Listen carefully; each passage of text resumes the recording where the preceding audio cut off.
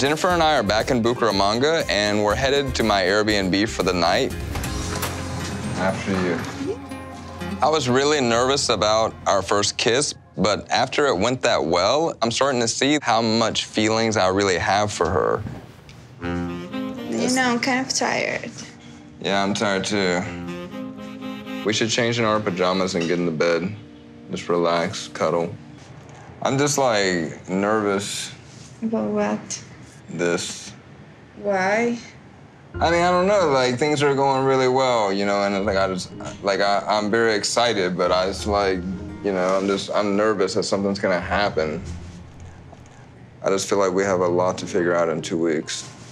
I'm not trying to be like negative, but I'm just trying to be realistic. I don't want to like bum you out. I mean, it's just like I love you so much, but at the same time, I'm scared of you. So it's a weird situation to be in. It's like, I know, but it's because it's intense, and that's good. You really care about me. but Yeah. I just I just don't want to make any mistakes. That's it. Then don't bring all the fears from your past and everything. The only person that can put me away from you is yourself. Okay? Yeah. Give me a kiss. Oh. All mm. mm.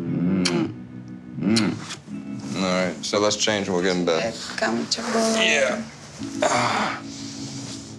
I really don't understand why he giving so much energy to this negativity when he could be just more passionate and positive and just enjoy our time together.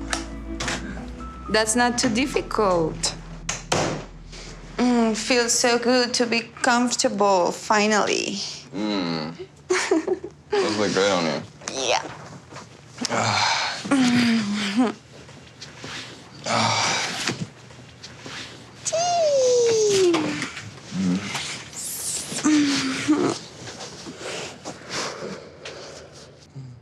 I just want him to show me that he can't dominante. You wanna go second base now?